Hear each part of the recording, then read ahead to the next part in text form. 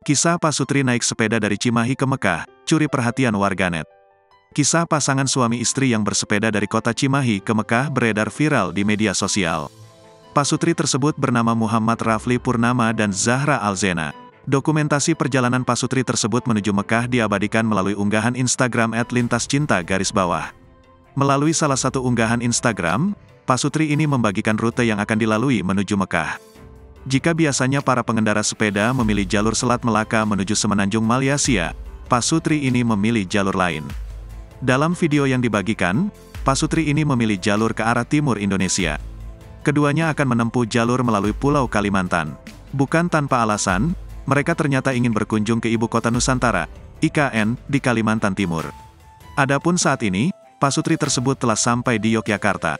Dilansir dari Tribun News, Pasutri ini akan melintasi 15 negara dalam turnya ini. Beberapa negara itu di antaranya Singapura, Malaysia, Thailand, hingga ke Cina, Tajikistan, Uzbekistan, Iran, dan terakhir Arab Saudi. Rafli dan Zahra diperkirakan akan menempuh jarak sejauh 14.000 km dengan estimasi waktu 9 bulan. Adapun, mimpi untuk bersepeda ke Mekah ini sejatinya sudah ada sejak tahun 2023. Kendati demikian, banyak hal yang perlu dipertimbangkan Rafli dan Zahra sebelum memulai perjalanan mereka. Hingga akhirnya, mimpi tersebut terrealisasi abda awal tahun 2024. Persiapan yang dilakukan Rafli dan Zahra untuk bisa mencapai mimpi ini pun bukan main-main. Mereka melakukan survei untuk negara yang akan dilalui, jarak, lama perjalanan, logistik, hingga biaya.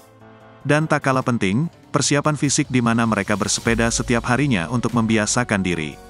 Rafli mengungkapkan bahwa tujuannya untuk sampai ke Tanah Suci adalah bagian dari hobi, niat mulia untuk beribadah, dan belajar.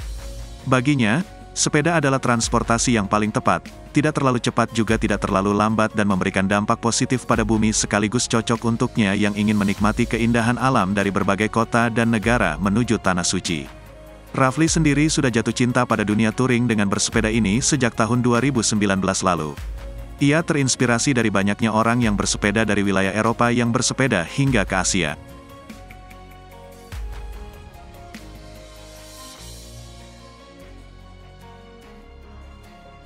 Download Tribun X sekarang, menghadirkan lokal menjadi Indonesia.